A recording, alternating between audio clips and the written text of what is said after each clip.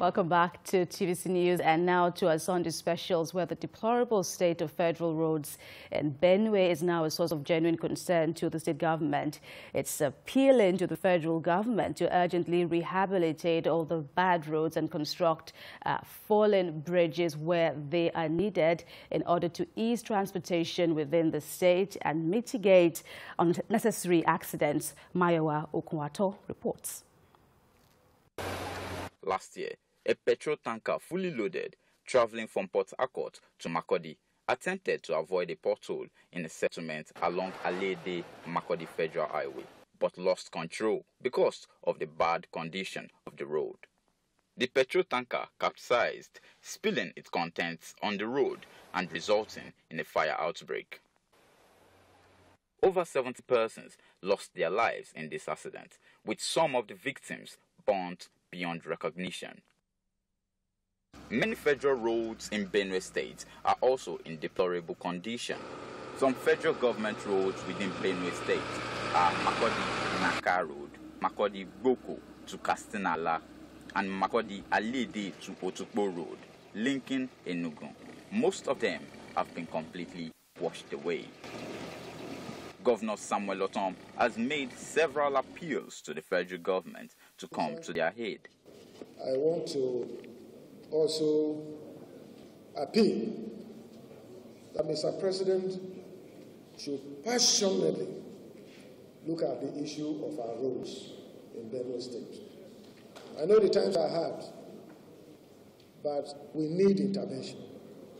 This is a desperate call that we need intervention in most of our roads here in Benue State.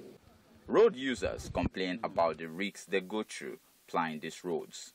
It affect my car every day. I change my uh, every week. I change my band brakes, my bow joints.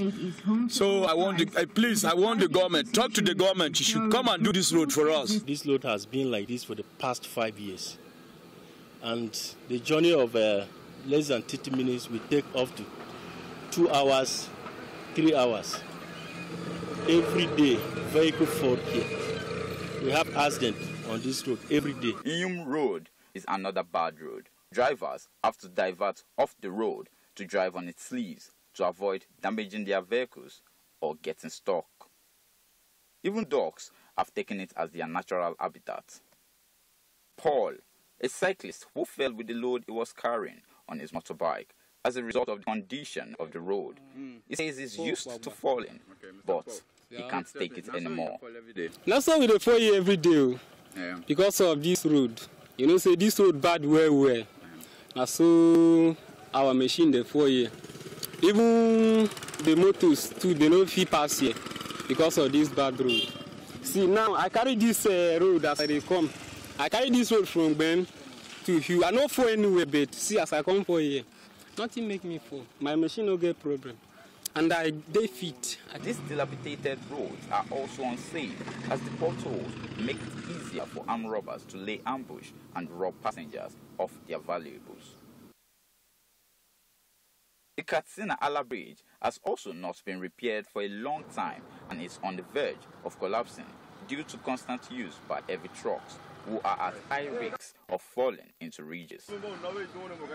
Behind me is the popular Katsina Ala Bridge that connects the north to the eastern part of Nigeria. As you can see also behind me is a truck falling down as a result of bad federal roads in the state. Uh, the road damage our cars and uh, it make customer complain to us that we are hitting them on the car so much. Uh, at the end of the day, when I close from work, I must take uh, paracetamol or any other thing, headache, body pain. We receive all that because of the bad road. Some people, without being asked, just take on the responsibility of trying to make road more motorable by sand filling potholes. You come across them no matter which part of the country you may be driving through bad roads in Nigeria. This is also a way for them to earn some cash from motorists who appreciate their efforts to make life easier for others. I was in Taraba State before, so snake had bit me in Taraba State. That's why I cut my leg. I'm doing it because the road is poor, and I'm doing it to get what to feed myself. Dena with his condition is one of them who we met on our way from Katsina Ala. He says there used to be three of them, but one of them was hit by car and died few months back. We are doing it in three of us, but one of them have died. Motu have joined in, in Mandela, so he have died. So me, me and the other guy. The Federal Roads Maintenance Agency, FERMA, is tasked with the responsibility of maintaining roads and improving the connectivity between the states in Nigeria. Partial rehabilitation has started on some of the roads, but work is yet to start on many others. Efforts to reach the agency to understand the reason for the delay was to no avail.